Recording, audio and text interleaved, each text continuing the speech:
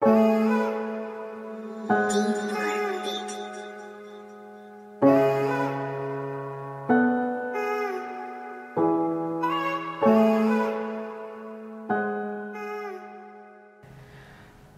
фейлч гэх юм уу яг юу ч гэх юм. Битүүрийг анхны болцооноор явж идэх байхгүй юу? Тэгсэн чинь нэг сэтгүүл төр гарцээ. Тэгээ тэрнээс болоод ингээд гэр бүл мүл ингээд баахан хүмүүс мэдсэн. Тэгээ банцандаа өрчихжсэн. Тэгээ банцандаа өрхөд 2 жил өрхсөн байт юм аа. Байхгүй мэнэ. Ер нь бол нэг хийгээгүй одцчихэ. Болцоо хийгээгүй гэхэр юм шүү. Аа яг орох газаргүй болоод яг карантины үеэр тэгээ хүрээлэн дээр аюу тас бас. Зав байдгүй шүү дээ. Үгүй. Болцдгоо. За манай найз л болохоор намайг хамт саунд сунаа, хамт сав орё гэж ярингуутлаа тэрэлж аваа явцсан. Тэгээ би оф софтстайгаа тэрэлж явсан. Тэгтээ гоё эсэл л та.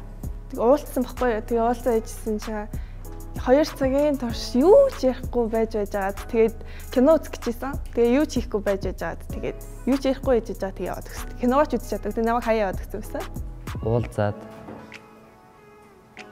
уулзаад хамт алхаад юмэрэ явжсэн чинь аа нөгөө нь маа дуурахгүй. Тэгээ юу ярихаа мэдэхгүй. Тэгээд амханда хөгжилтэй байх гад нэг тийм эвгүй эвгүй мэрэд яг хөгжлөө ойлгох гад тийм нэг юм хамаагүй марцаа болохоор нөгөө нь маа намайг тийм буруугаар ойлгоцсон. Аа мөнгөтэй гэж бол амар их юм хийгээл төлөвлөсөн чинь мөнгөгүйсэн тэгэл тэр. Тэгэл дагуулаад хүрээлэн талбайгаар дагуулсан. Фейлжсэн. Аа. Йоо тэр чинь гэхдээ бүр жоохондоо бүр 10 жил мэлтэй. Тэгээд нэг залуутай үерхэд тэг кино үзээ явж байсан байхгүй юу? Тэгсэн яг кинонд орохын өмнөх нь ингээд ийм урт цахилгаан тогтлоо өмсдөг байсан байхгүй юу? Тэгсэн цахилгааны өдрөө nëссэн ёо. Тэр л амар эссэн шүү. Тэгэл хөрхи нөгөө залуу чинь ингээл өөрийнхөө гутлын үдээсээр ч л ингээд тайлж байгаа. Минийх ингэж үдэж өгч гисэн. Ёо, тэр л амар. Oh my god. Яг фейлдчихсэн болзооны түүх нэг байхгүй. Би нэг амар болцооч шиг юмд явж байгаагүй шүү дээ. Яг. Юу сайн нэг гадаад тахта нэг дадлагын ажил хийгээд тэгээ цалин буух хэвээр өдөр цалин буугаагүй. Тэгээ бууна гэж бодоод нэг охинтой уулзаа гадуур явсан ч тэгээд тэгээ мөнгө хоолнд орч мөнгөгүй болцсон.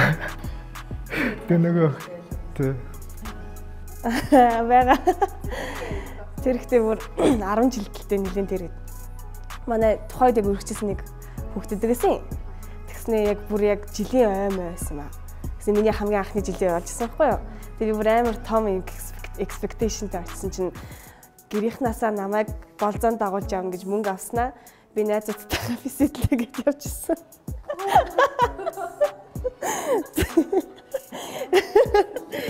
Тэ сонсож байгаа бол би сандын шүү. Аа яг нэг хүнтэй уулзахаар болсон юм аа. Тэгээд дөнгөж яг гэрийн гадаанаас ирж аваад тэгээ машиндаа суусан цагаасаа хойш амар юу байсан. Ингээд мөнгө төгрөг яриад гэх юм уу? Одоо ороод баг яжсэн аа. Манай аав надад сард сая 500 өгдөг. Гэхдээ би бүгдийг нүрчлээ гэжсэн аа. Надад насны хавуулгыг харуулчихсан.